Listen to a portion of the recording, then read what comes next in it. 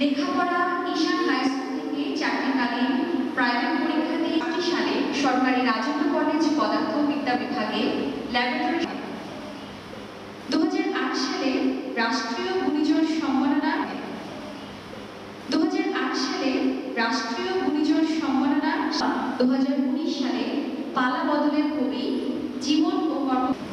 তার প্রিয় জায়গা ছিল রাজেন্দ্র কলেজের পদার্থবিদ্যা বিভাগের। সালে কবি জসীমদের স্বর্ণপদক এবং দু হাজার সম্মানিত চলার রাত পত্রিকায় আশার রাতে শিরোনামে। প্রিয় বই অগ্নিবীণা। জন্ম কিন্তু দুর্গম চরাঞ্চল। দুর্গম চরাঞ্চলে মানুষ নানা নৌকায় চড়ে গান সাপ করে খাল সেই কবিতার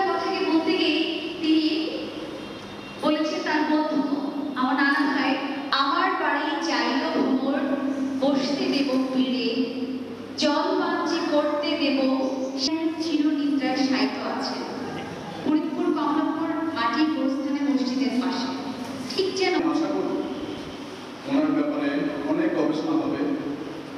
আমি মনে করি ইউনিভার্সিটিতে থিসিস হতে পারে তার লেখা নিয়ে। যারা আছেন, ভবিষ্যতে যারা থাকবেন, ইউনিভার্সিটিতে যারা পড়াবেন, শিক্ষক যারা আছেন, ওনার ব্যাপারে গবেষণা হবে। আমি ব্যক্তিগতভাবে ওনার কিছু বই আমার অফিসের আলমারিতে আছে।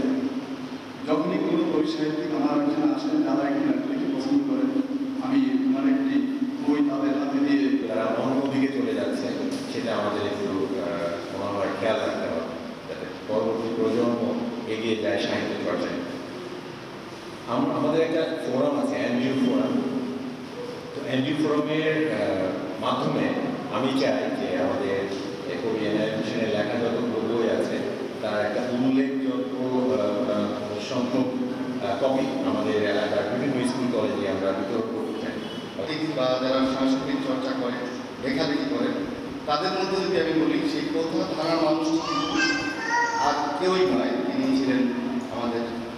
পালাবদলের সরকার এনায়েত তাকে কিন্তু বলাই হয়। পড়ার সৌভাগ্য হয়েছে। অধ্যাপক এম এস আমাদের কারণে ওনার ওখানে গেলেই অনেক বই উনি সরবরাহ করার চেষ্টা করেন। ওনার